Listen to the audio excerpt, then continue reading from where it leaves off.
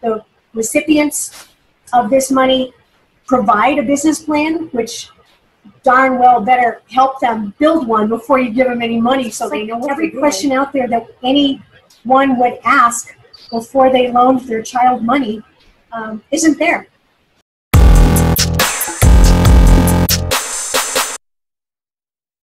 Hi, welcome to the Duopoly Report. This is Steve Caviedes. I'm going to say something ahead of time before we get into this video.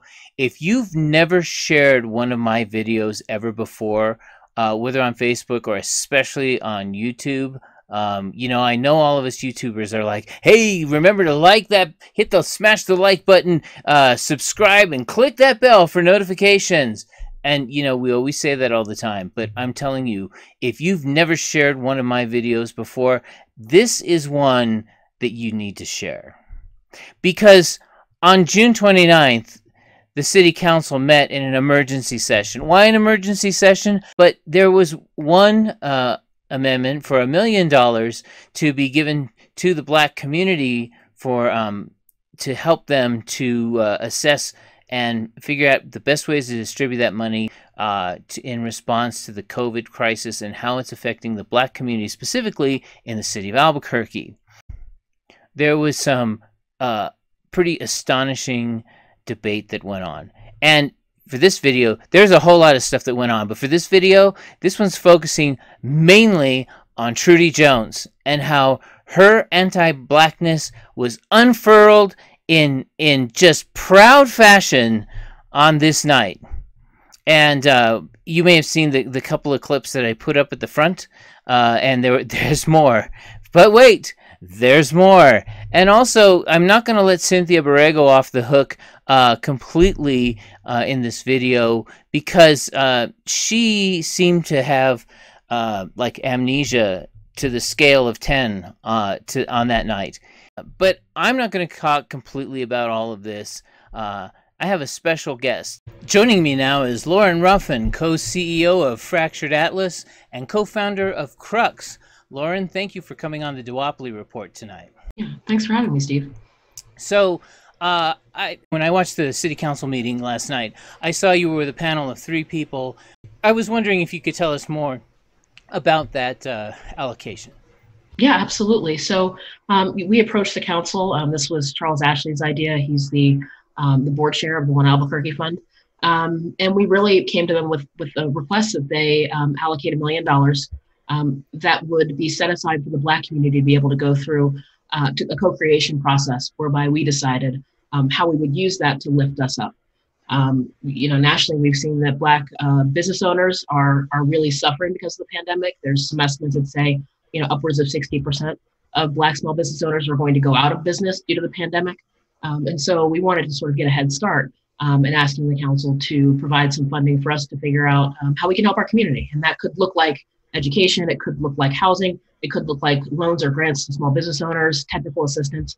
Um, but we really just wanted the commitment from the council. One thing that was mentioned is that like uh, you didn't have specifics yet for the million dollars. That there was a different process that you might you, that you're going to try uh, as opposed to as like uh, I guess the city having this all laid out ahead of time. What is that process that you're going to develop?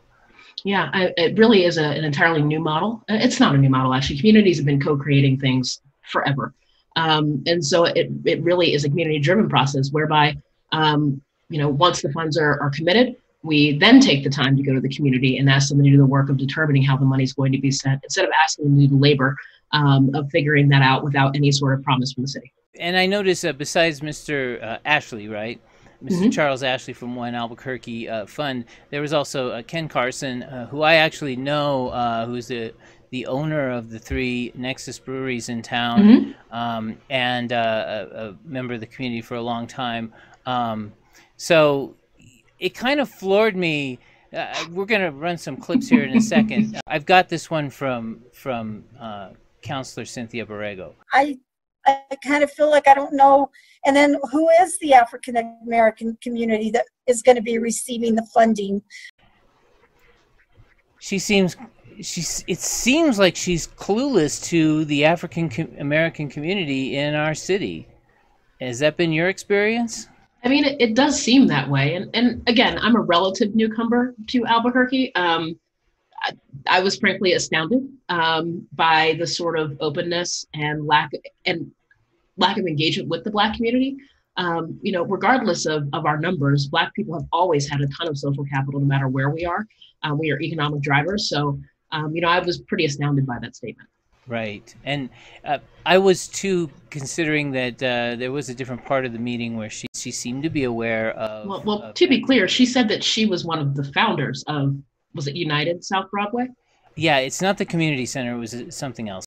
She must have had some dealings before, but she was definitely playing clueless um, during that uh, section. But back to what I started with, which is our star of the night, City Councilor Trudy Jones from the oh so exclusive uh, uh, gated neighborhood, and she had I have I have three clips here, two of which I showed at the very beginning of the of the video, but uh, I want to rerun all three. I'm going to start with the one that was the most shocking to me of, of all three of them, and it's this one here.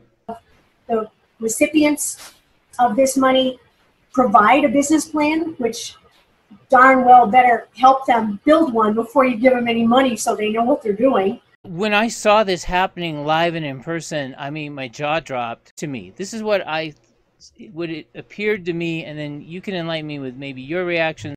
It was like she had this feeling that black people had never gotten money before. None of them know how to do business or know how to do accounting. And, and, and the phrasing of, they better damn well, you know, they damn well better have a business plan if, if they want to be getting some money from us, um, was just uh, condescending, uh, you know, to 11. we got off the 1 to 10. yeah. To 11. And what was your reactions while you were watching that live? I mean, I'm I'm no longer surprised about these things. I've I've raised, you know, over a hundred million dollars at this point in my career. Um, I've heard everything under the sun, so it's not surprising to me. Um, it's it's um, anti-blackness looks the same everywhere, um, and it looks like comments like that, like questions like that. Um, when she's candidly speaking to, you know, three black business owners who control multiple millions of dollars in capital, um, much of which flows into this community. you know, you mentioned Ken has three three breweries. Charles runs several businesses here in the community. Um, and you know, I run you know the equivalent of the, the ninth largest arts foundation in, in the United States. Um, so it's you know in terms of capital that we move from foundations to um, to artists, and and so um, but but that's the function of anti-blackness. It's to have us constantly have to justify ourselves um, and sort of justify our existence and, and debate our humanity. Um, you know, in front of bodies like this, and you know, luckily, I think Charles Ken and I were able to keep our eye on the prize, which was, you know, let's let's just let this woman dig herself a hole, um, uh, which is what she did, um, because it became pretty clear that um, everybody else in the council knew what was happening, um, and a number of her her fellow council people um, called her on some of the unfairness of the questions she was asking. Right. I, I think that even some of her allies understood that that her tack was not one that they were could or were even willing to take or had to explore new ways to express their opposition than the bald-faced way in which Ms. Jones did. I'm going to go to a second clip, which is similar. It's it's in a similar vein. People who make the decisions will it be business people? Will it be people who've been involved in lending, who've been involved in starting businesses or helping businesses? Again, when I'm when I'm hearing her say these things, it's like she to me she's saying, I don't know a single black person who knows how to who's been in lending. I don't know a single black person who has had a business. I don't know a single black person who knows how to build a business plan.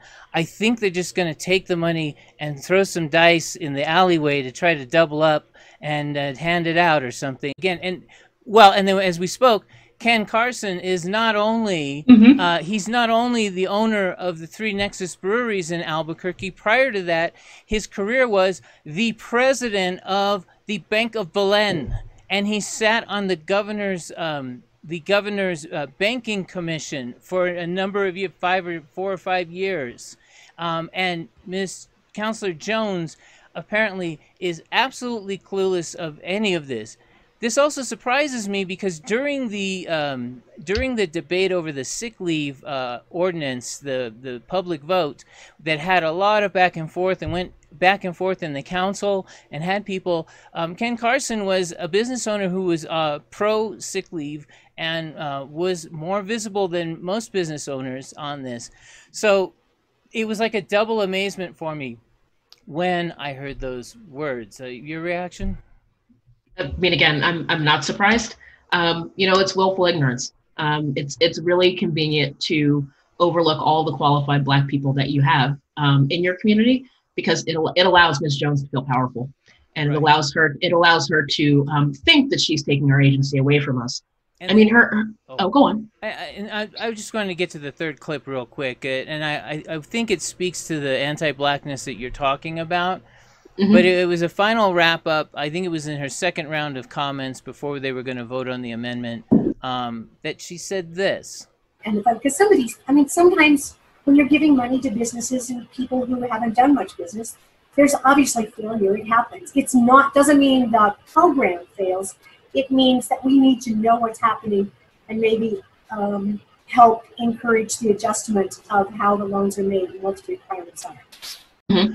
But what I, so what I'm seeing here from Councillor Jones is almost that she's expecting that these people, you know, since no black people ever have money or have a business, it's just, of course going to fail, and she's going to need to write in and save this million dollars from being squandered. And is that not also kind of a an anti-blackness attitude as well? It's it's so it's so classically anti-black, um, in particular because we're talking about a million dollars you know it's it's not like this is money that it's going to save some businesses it's going to make a difference in some lives. Um, but candidly you know black communities and i would add indigenous communities in mexico are probably deserve more than that. Um, so the idea that um, in particular um, we survive every day in the face of this we don't need anyone to rescue us. We don't expect anyone to rescue us and we've been rescuing ourselves for 400 years. Um, so I, I, just think um, it's just it's so classic. It's, it's laughable um, and then I guess there was there was one other uh, there was one other particular uh, thing of note. What, what was yeah. Yeah, I mean, I, I think that the only aspect of um, of Miss Jones's commentary, questioning, whatever we want to call it, um, that really sort of took my breath away was, you know, her. I think it was her penultimate comment, um, where she did a couple of things. Um, the the first being um, that that she essentially said that that black entrepreneurs need to be taught how to run businesses. Um, and and for me, whenever whenever I hear that, I think about all of the the black folks I know who have been, you know, um, have had felonies that you know that they may or may not have deserved, but who then come out to start a business because they can't get hired anywhere. And um, so those are the small business entrepreneurs who you know we never think about. Oh, yeah. um, but you know you have the dual impact of an unjust criminal justice system um, and that is then impacted by they can't qualify for any for any capital. Um, so they are they are literally making things up as they go. They don't need our help. Um, they don't need a business plan. Um, you know, I read something. Lena Dunham got pitched girls with a page and a half paper where she had no characters and no plot, and they gave her, you know, all the ability to build a, a show on HBO. Um, so when I look at that in one hand, I look at the number of questions we were asked yesterday. It's asinine. Um, the second thing that she did um, was she in and she went on this rant about how she doesn't know anything. Um, you know, we didn't tell her anything. And there was a whole large conversation, some with her colleagues, who said this is actually the way the city does business. They're not asking for anything other than the way the city does business. That was said multiple times, um, and so her inability to hear that um, was startling to me. And the third thing she said was um, that she's not asking the Black community to do anything that a parent wouldn't wouldn't ask a child who was asking for a loan to do. And um, creating a making a statement that compares an entire black community when you have three black adults in the room um, to children is classic. I mean that's not even anti-blackness. That's just right. you know bold bright italics underlined racism. Um, and so uh, that that was what really took my breath away that that last comment. And and we've got the clip of that right here. It's like every question out there that anyone would ask before they loaned their child money um, isn't there. Well, it did pass finally. The amendment passed eight to one, with Trudy Jones being the only dissenting voice. Um, I, I, noticed Borrego kind of like, you know, she didn't like saying yes, but she did. Uh, she gave it. She gave it like a presidential signing statement. You know, like it was a whole thing. and uh, right, and then uh, and then uh, Brook Bassan voted yes. I guess after a, a provision was changed in the amendment, um, after doing a lot of the delay tactics that uh, Councillor Jones was doing as well. Um, I may get to that in another video. Um, but do you have any final words? Anything else that the the community is going to be up to in terms of this uh, million dollars, or is that still in process of working?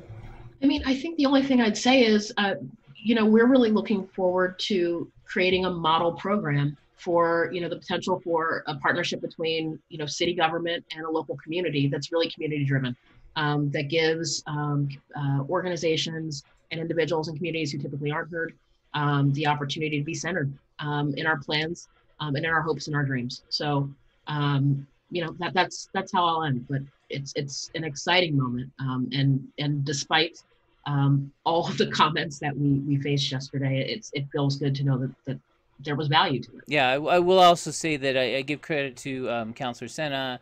Um, Mhm. like, well, there, there were six votes in uh, favor at the uh, or no, eight votes in favor at the end of the day. Mhm. Six who I think were more solid votes, um, uh, and particularly councillors Pena and Sena, Mhm. who were who actually pushed back on on some of the comments that the other councillors made. Which, by the way, I will tell you is unusual for a city council meeting. And so I, you know, normally comments go without much everything. They councilors kind of allow each other to say whatever they're going to say.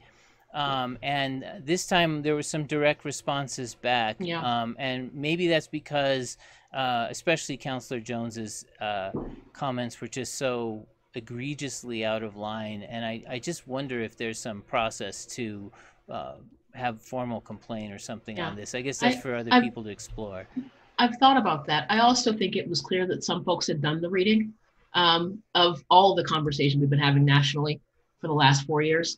Um, and, and people have been doing the work before that, but it really sort of burst into the fore in the last the last several years. Um, so it's clear that that um, council uh, councilwoman uh, Sena and Pena had, had done that work. Um, and at least had started their own personal anti-racism journey. And I think um, it'd be great if the entire council um, spent some time sitting with that um, maybe a book club would be great. so So, Lauren, any final closing comments before uh, before you go? I know you're no, busy. thanks thanks for having me, Steve. Okay, thank you very much, uh, Lauren Ruffin, from co-CEO of Fractured Atlas and fa- uh, co-founder of Crux. Thank you for being on the Duopoly Report tonight. All right, so my closing on this is this: we've talked about some of just the absolutely horrific anti-blackness that went on in the city council meeting that night, and the, I'm talking about the worst of the bunch. There was more. There was way more, and there's probably going to be another video that comes out about these slightly more subtle ways that some of the other city councilors expressed their anti-blackness that night.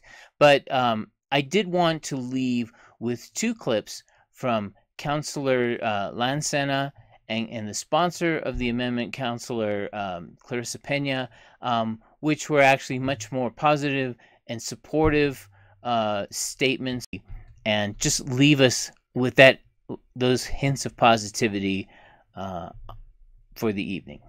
This has been the Duopoly Report.